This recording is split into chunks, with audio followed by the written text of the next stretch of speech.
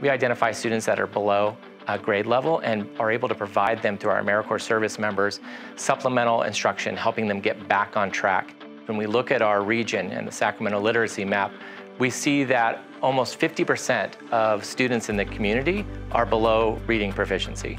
We're still engaging, but now through a virtual classroom as opposed to a physical classroom. So we're just using technology to deliver the same type of service that we would do even on a physical space. City model is to focus on the whole child. So our corps members are directly engaging with students, building up their social and emotional skill sets, um, overcoming trauma that they're going through, building up their confidence.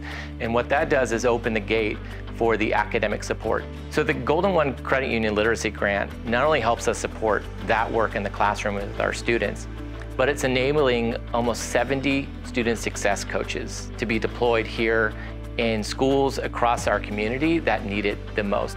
From all of us at City Year Sacramento, thank you Golden One for helping us make better happen.